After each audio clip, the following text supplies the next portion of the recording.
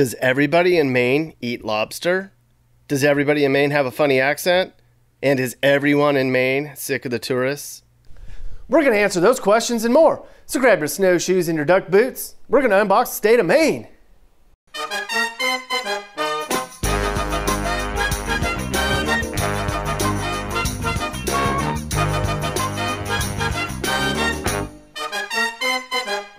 Wow, we're out here in no man's land.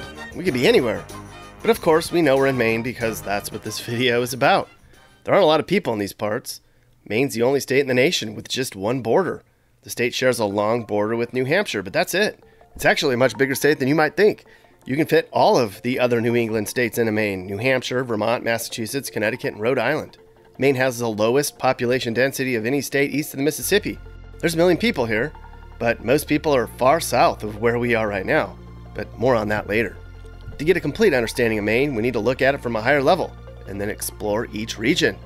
This is Maine. As you can see, there are large areas in the northern part of Maine where things are vast and wide open. And then closer to the coast and to the south, there's a lot more going on. But for the people in northern Maine, they got everything they need. Thank you very much. We'll begin over here in the northwest part of Maine. Way up here is really nothing outside of Moosehead Lake and its woods and a lot of rundown cabins. No, that's mean. There are some teeny little tiny little villages with a smattering of folks tucked out way back here in the tracts of forest, places that are just about as rural as you'll find in almost anywhere in the whole country. Maine claims to have more woods than any other state. 89% of the state is woods. That's probably why it got the nickname the Pine Tree State. You could drive back here for three or four hours and hardly see a soul. That's also why a majority of people in Maine drive trucks and SUVs and Subarus. Most of this region is made up of Piscataquis County, which is losing more people than any other county in the state. This county lost 6% of its population over the last decade. Why? Mostly an aging population, more deaths and births, and a loss of net migration. In fact, Maine now has the oldest average population of any state in the country. There's plenty of places to ski on this side of the state. In the middle of this vast region is Mount Katahdin. While New Hampshire's Mount Washington might be called the Beast of the East, Mount Katahdin is the largest independent mountain with the most rugged terrain in the Northeast. Crazy people trek up here and cross country ski. It's also where the Appalachian Trail begins, or ends, depending on which way you're going. Down here in Somerset and Franklin counties, it's more woods and skiing. Logging's a big deal in Maine. A long time ago, like before we were a nation, timber from Maine's woods was used to make English ships. Today, lumber is an even bigger deal. Wood products make up 10% of Maine's exports, but the logging and wood industry in general is under threat here in Maine. Not because they're out of trees, but because they're out of lumberjacks. It's hard to find loggers and log drivers these days. They don't want to do the work, especially when they can earn higher wages in nearby states. Areas of interest in this part of the state include Rangeley, a smallish, townish, village-ish place along Rangeley Lake. Here, people's summer cabins are bigger than your actual home. Also out this way is Lewiston, Maine's designated punching bag. Lewiston is where they make Orloff vodka and whoopie pies. Nearby is the Oxford Hills Casino. This casino is out in the middle of nowhere, so it doesn't bring in any out-of-staters. It just sucks money away from the locals. Oxford Casino is wicked good fun. Up here in Aroostook County, it's also rural, but there's a little bit more going on. Like anything is better than nothing, right? This is the largest county east of the Mississippi. Aroostook County is. Mainers simply call this place the county.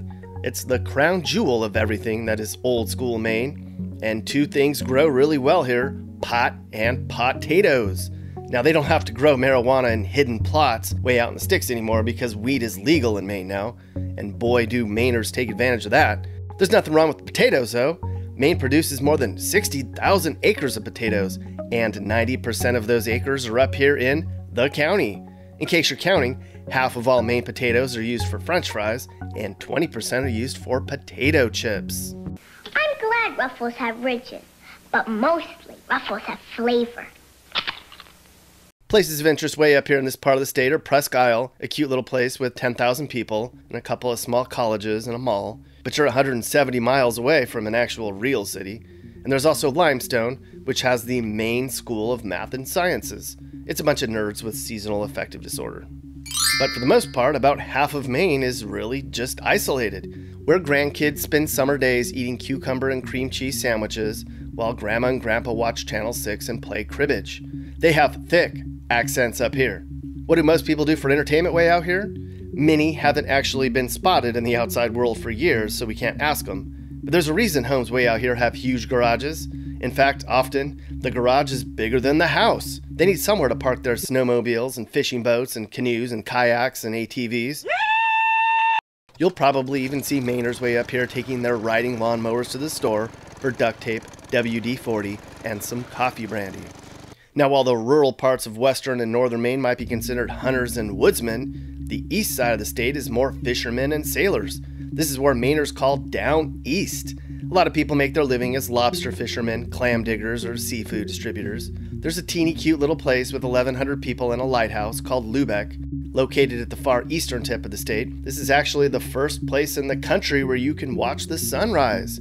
As such, people flock here to do just that. This is also where they have a lot of blueberries, people. Up here near Jonesboro, Maine claims to grow almost 100% of all wild blueberries in the country. Most of the rest of this area is set aside for public land, and there are really pretty remote beaches. Now we move to central Maine, and that's where you're going to find a majority of what people in Maine bluntly call redneck trailer trash. This is where the stereotypical poor folks live. While Maine doesn't have any traditionally large ghetto tracts, it does have very poor communities and trailer parks. There's a lot of welfare here. You can go from a beautiful coastal town to a sad trailer park in 20 minutes if you take the right road. Of course, pot's legal here now, but you have hard drugs like heroin and fentanyl, which have taken hold of the poorer towns in central Maine. While a lot of people in central Maine struggle with poverty and drug use, there's a lot of hard workers that struggle to put food on the table. Parts of central and northern Maine are why many refer to Maine as the deep south of the north. Union, Maine is in this general area. That's where the inventor of Moxie grew up. Mainers love them some Moxie, but a lot of people think it tastes terrible. It gets its flavor from some root that's supposedly medicinal. And if a central Mainer ain't drinking Moxie, he's taking Oxy. Augusta's in central Maine. That's the state capital. It's relatively uninspiring. Not as boring as Montpelier, Vermont, but it's up there. Bangor is up here too. This is also sort of a boring, quiet place with a lot of poverty. This is where Stephen King lives, so you can imagine what the people are like there. He based many of his books on small Maine towns. Just a piece north of Bangor is Orono, where the University of Maine is.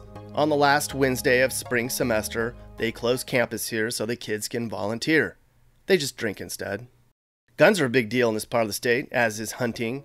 Maine is the whitest state of all, where 97% of the population is some shade of Caucasian. The other 3% is in Portland. In these areas we've discussed so far, it's mostly conservative folks, but the state is varied in its political leanings. Maine's a solid mix of Democrats, rednecks, and even Democratic rednecks. It's very red in some parts and very blue in others. Like along the coast and in southern Maine, where two thirds of the population is. Maine has just about more coastline than any other state, even California. This is where all the diversity and the Democrats are. The accents aren't as thick here, nor are the bellies. They don't hunt shit. While northern Maine is rural and has a simple life, this is where the wealthier folks are who live in bigger homes. Southern Maine is kinda barely Maine anymore, and is less Maine the further south you get. Some call southern Maine Massachusetts Light. Up here, which Maine calls Mid Coast, is Mount Desert Island, or MDI. This is home to Acadia National Park and Bar Harbor. Acadia is beautiful. It has hiking and carriage roads all on the coast. It's one of the top 10 most visited national parks in the US, everyone. Bar Harbor is a cute little town that's so popular, cruise ships come here. Sometimes there's so many tourists here in the summer, it seems like the whole island's gonna sink. But tourism brings in about 20% of the state's GDP, and tourism's a big part of how Mainers earn their living, so they have to deal with it. There's a bunch of other islands off the coast that are sparsely inhabited. Maine actually has more than 3,000 islands. Most of them are teeny tiny. Further down the coast are more small, cute towns along the waterfront, places like Boothbay and Bath. Brunswick is home to Bowdoin College, and therefore is filled with snobs, hippies, and hobos. South of that is Freeport. LL Bean is located here. It's named after its founder, Leon Leonwood Bean. Yeah, that's his name. They make comfy clothes, and their boots are loved by the ladies. You get your sweetheart a new pair of duck boots out of the tree, and she's like, Hey, uh. Just outside of Freeport's a unique feature in Maine a little 40 acre desert. It's called the Desert of Maine. Camels live here. Then we come to Portland. Portland's the most happening place around. Portland has a bunch of breweries and great restaurants. In fact, Portland has more breweries per capita in the nation. It's also been called the best food city in the country many times in the past. mostly because of the seafood. More on that later. But more and more folks are moving to Portland as it's viewed as a safe city away from all the drama that comes with living in a big city. I mean, there's only 50,000 people here. And with working from home a long term reality for many, job opportunities aren't a driving force in bringing younger people into Portland. Five miles south of Portland is Cape Elizabeth, where like half of the pictures in this state are taken. A lighthouse here is the most photographed lighthouse in the country. It's actually one of 65 lighthouses in this state. That has to be a record. There's a lot of mansions and rural farms here, along with wannabe artists. Nearby Scarborough also has some great beaches, but it's not all peaches and cream along the Maine coast. Just south of Portland is Old Orchard Beach, or Old Orchard. It's kind of like a lower end New Jersey shore with a little bit less attitude. There's too many tourists here in the summer, it's run down and dirty. Not a bright spot on the Maine coast for sure, but the pier fries are good. And then you have Biddeford, which is druggy central. Further down the coast are posh coastal communities like Kennebunk and Kennebunkport, or the Kennebunks. This is where the wealthy families vacation and where former presidents own second homes. Good for you, Kennebunks. Way down here in York County are more places which serve as second homes for wealthy New England elites. This is also the fastest growing area in the whole state. Some people in Maine say they dislike the influx of Massachusetts folks. Others don't seem to mind, or they say they don't mind. But there's no denying that the far south part of Maine is becoming more crowded, with more traffic and more crime. The natives along the coast are getting squeezed out by out of staters buying up oceanfront properties as vacation homes. They're driving up the taxes even more. I mean, as it stands, Maine has the fourth highest taxes in the country and the US's fourth highest property taxes. Somebody has to pay for all the welfare in central Maine, right? Regardless, because of the isolation and beauty, tons of celebrities come to Maine. People like John Travolta, Martha Stewart, Daryl Hall, Tucker Carlson, Joan Lunden. Oh my god, Joan Lunden. If you frequent the nicer coastal communities often enough, you might spot other notable people you see in movies and on TV. Perhaps they're looking to escape the craziness. Now, don't listen to all the talk about how Maine is either hot or snowing. The state actually has three and a half seasons winter, mud, summer, and then they get two weeks of fall before it's dead of winter and it's dark at like 2 p.m. The winters aren't always wicked hot in Maine. It's kind of all or nothing. Sometimes they're buried in snow, especially when nor'easters come roaring through. Other years, it's incredibly mild. Winters here are really anybody's guess. And speaking of dark and snowy, there's all kinds of deer and moose and bear and all sorts of critters that you have to avoid on back roads at night. Driving can be a challenge when you share the roads with these animals. There's an average 550 moose car collisions every year in Maine, and if you've ever driven past one, the car usually loses. There are 70,000 moose in this state. Food wise, it's not all moose. Fine dining in Maine is seafood, fella. Crab shacks with whole belly Ipswich clams, which are coated with crumbs. Of course, the chowder is popular here. Maine chowder used to have cod in it, but cod are harder to catch now that Maine's waters have warmed. Now, the chowder has haddock and potatoes mostly, and mussels, of course. But what's the biggest deal here are all the bugs, aka lobsters, and lobster rolls. They're so popular you can get lobster rolls at McDonald's in Maine. Lobsters are Maine's biggest export, 14% of it in fact. Lobster brought in 368 million last year for Maine. And if you eat a lobster, there's an 80% chance it was harvested in Maine's waters. What's funny about that is that in colonial times, lobster wasn't considered a delicacy. Like, lobster was what they threw to the lower class folks like slaves and prisoners as a way to keep them fed. It was cheap, and at the time, no one wanted them. A lot of people don't ever leave Maine. I mean, why? It has everything you need. Oceans and mountains are a close drive away, as are small towns and woods. They smoke and drink, they embrace the snow, they're generally nice and helpful and a little provincial. They're a proud bunch and a different breed. They don't want a big city life. I mean, can you blame them? But a state that's traditionally low in crime and low in opportunity is kind of changing. As opportunities grow, so will the number of outsiders. Can Maine hang on to its culture? Probably. I mean, it's not very diverse now, but every year, 0.5% of it is newcomers. Maine's an extremely clean state, and they like to keep it that way. So if you're from away and are thinking of moving here, great. Don't fuck the place up. Okay, so we did a pretty good job of covering Maine from top to bottom, didn't we? Yeah, we did. And there's all kinds of other stuff we didn't talk about, like the history of Maine. Maine's got a lot of history that we didn't go into, nor did we have time to talk about all the quirky towns and villages everywhere. We could have spent a whole hour talking about those, but we have to go. Our neighbor's working on his car, and he needs somebody to hand him Budweisers all afternoon. Blueberries, potatoes, pine trees, blueberries, potatoes, pine trees. You'll be bored unless you're into trees. Oh my god, there's just so many trees. Trailer parks that are hidden in the trees, creepy people that are hiding in the trees, bears and things that are living in the trees. You'll get lost if you go into the trees. We're a real state, we're we're not Canada, we're a real state, we're we're not Canada, we're a real state, we're we're not Canada, we're a real state, we're we're not Canada Moose.